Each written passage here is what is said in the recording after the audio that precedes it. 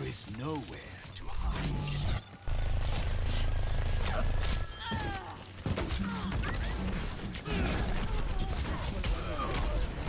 I'm on double.